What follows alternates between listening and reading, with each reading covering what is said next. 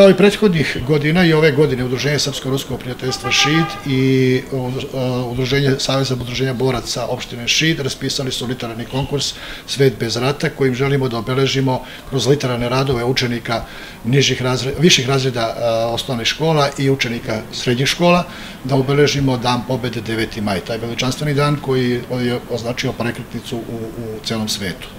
Ove godine je stigao određeni broj radova i stručni žiri koji su e, čitali, odnosno koji su proučavali radove, a, a koji su pristigli na srpskom i na ruskom jeziku, su doneli sledeću odluku.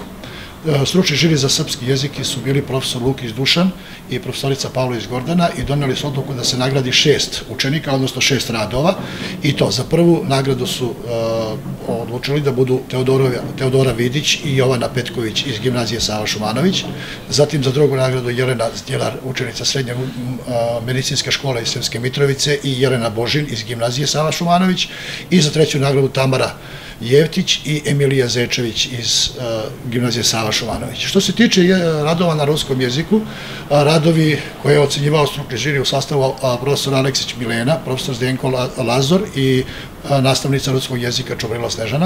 Pristiglo nam je šest radova iz Ruske federacije i doneta je odluka da se radovi razostaju u dve kategorije. Kategoriju radova za proze i kategoriju poezije.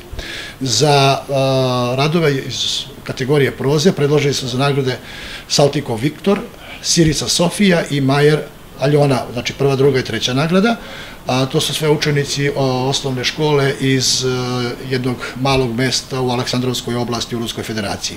Za, u kategoriji poezije takođe iz iste škole, odakle su nam stigli radovi, predloženi su, e, to je vrlo interesantno, radi se o troje braće, e, troje braće i sestara, Potapkin Sergej, Potapkin Irina i Potapkina Anastasija.